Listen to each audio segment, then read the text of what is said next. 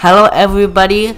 So I'm very close to getting to level 50 on the battle pass. I'm really close, like two levels away.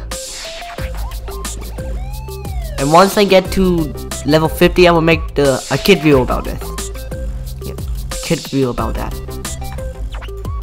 Yeah, I very very like so close, two levels away to getting to level 50.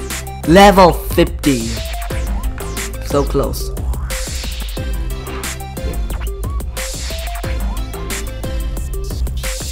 And also my win is like 1370.